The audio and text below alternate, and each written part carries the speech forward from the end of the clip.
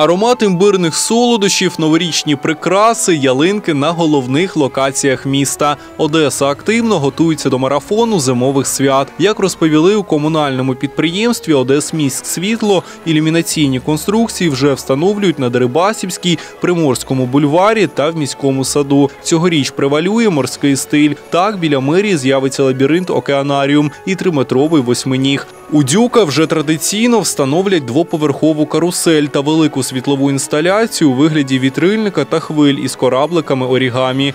Крім того, цього року встановлять ще одну ялинку. Новорічне дерево радуватиме око одеситів біля будівлі нової мерії на Косівській. Роботи обіцяють завершити до Дня Святого Миколая. Нагадаю, що всі світлові фігури коштуватимуть місту 4 мільйони 13 тисяч 742 гривні. Їх ставить чорноморська фірма Люм'єр Україна.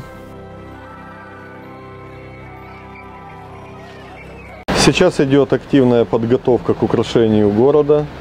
Здесь и сейчас ремонтируются иллюминационные конструкции, которыми город будет украшен к 19 декабря.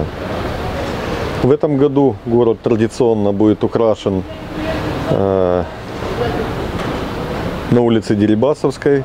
Э, В морском стиле будет украшена Думская площадь и площадь возле Дюка.